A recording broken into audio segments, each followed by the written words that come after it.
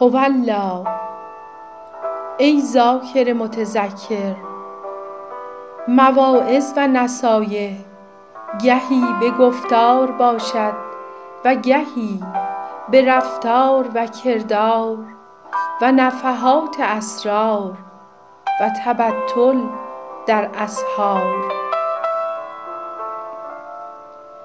اما گفتار مدار حقیقت و دلیل اتعاظ و بصیرت نبوده و نیست. چه که یمکن واعظ فصیح چون بشیر حامل قمیص یوسفی خود از بوی خوش پیراهن غافل و محروم و پیر کنعانی محظوظ. و انی اجد ریح یوسف لولا ان تفندون. کردار و رفتار صرف حقیقت است و صرف موهبت و جوهر هدایت.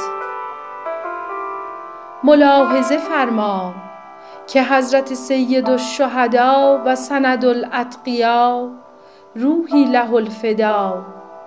چگونه به رفتار و کردار جمیع من فی الوجود را وعظ و نصیحت فرمود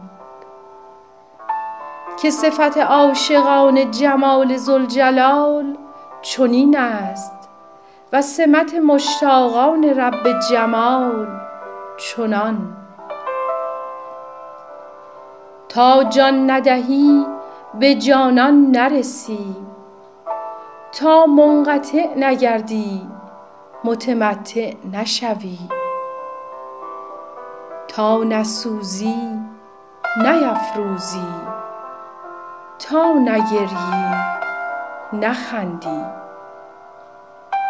پس از خدا بخواه که جام لبریزی از این باده فرح انگیز به کام این ناکام ریزد.